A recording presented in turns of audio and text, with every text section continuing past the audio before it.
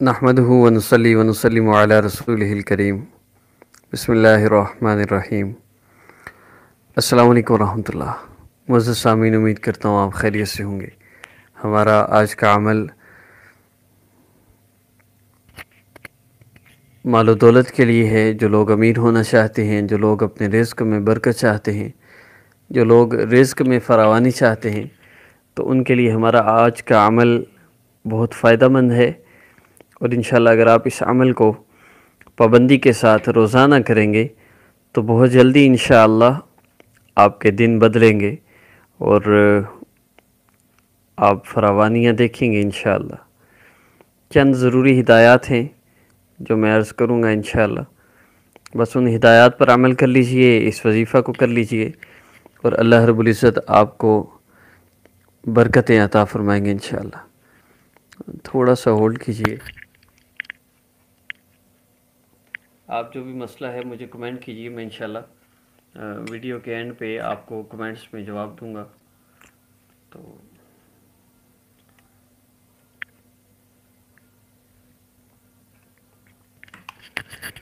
अच्छा जी। सबसे पहली चीज़ कि नमाज़ की पाबंदी ज़रूरी है। आप घर में दो आदमी हैं या बीस आदमी हैं? अगर एक भी बेनमाजी है तो आपके घर पर तंगदस्ती की, बेबरकती की नहुसत छाई रहेगी, क्योंकि बेनमाजी की नहुसत एक सौ साठ घरों तक जाती है। चारों तरफ़ चालीस घरों तक जाती है तो एक सौ साठ बनते हैं। तो आप ख़ुद सोचिए कि जिस ब्लास्ट की वजह से एक सौ साठ घरों को नुकसान पहुँचना हो तो जिस जगह वो ब्लास्ट हुआ हो, वहाँ कितना नुकसान होगा?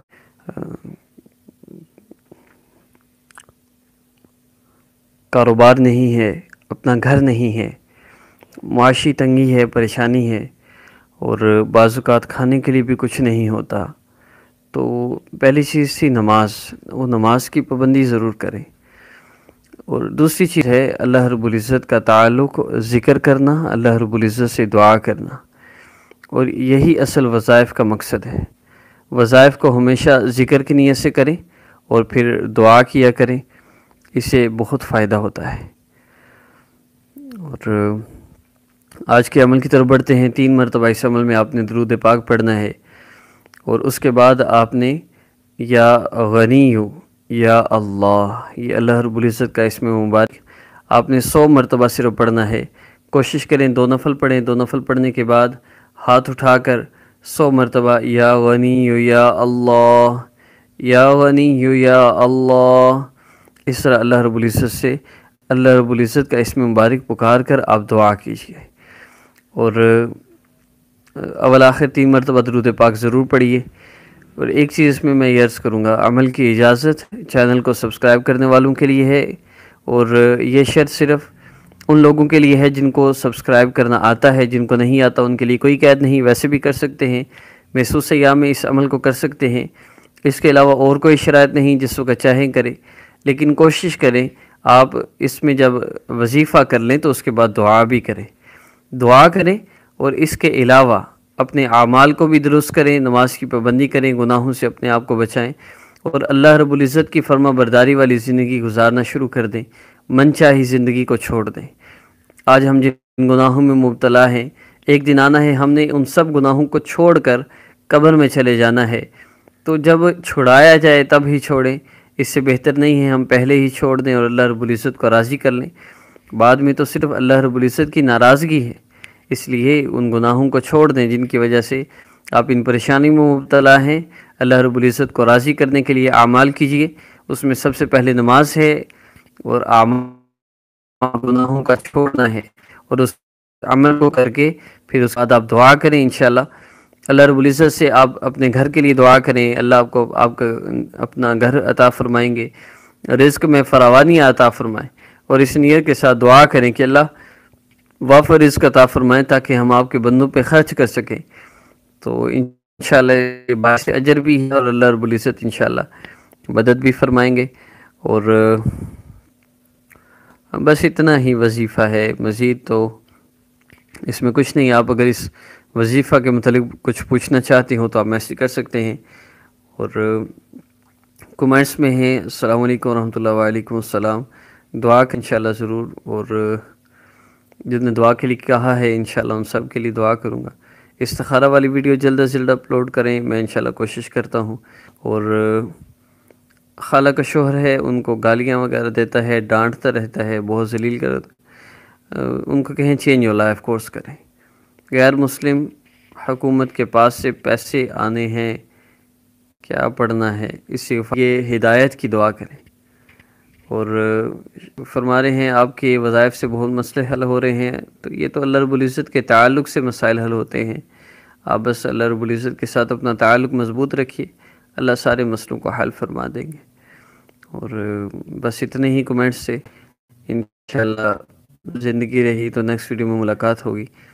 जो लोग अपने आ रही, उनके लिए एक बेहतरीन रास्ता वो चेंज योर लाइफ कोर्स है।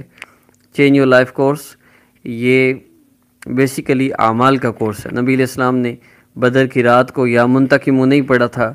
आप सल्लल्लाहु अलैहि वसल्लम ने दुश्मन से जो है वो फ़तह के लिए मुसल्ला बिछाया। सारी रात मुसल्ले पर गुजारी है।